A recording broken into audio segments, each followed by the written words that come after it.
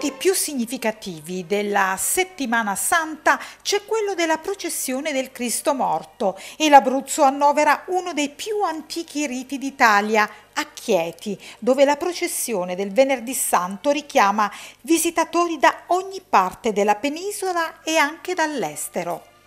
Una processione dalla storia millenaria organizzata dall'Arciconfraternita del Sacro Monte dei Morti, guidata dal governatore Giampiero Perrotti, che sarà, nel rispetto delle direttive del Ministero dell'Interno, presidiata da vigilantes, volontari della protezione civile, ambulanze lungo il percorso, posto medico in piazza Giambattista Vico e divieto per gli ambulanti di consumo e vendita di bevande in bottiglie di vetro e lattine. La processione di Chieti sarà seguita da Rete 8 e come consuetudine andrà in onda nella serata di venerdì 19 aprile nel corso dello speciale che sarà trasmesso a partire dalle ore 21 e durante il quale sarà possibile rivedere momenti salienti della processione degli incappucciati e del Cireneo del Giovedì Santo di Lanciano curata dall'Arciconfraternita Morte e Orazione San Filippo Neri e la processione della Desolata che si tiene all'alba del Venerdì Santo a Teramo a cui partecipa il Vescovo Lorenzo Leuzzi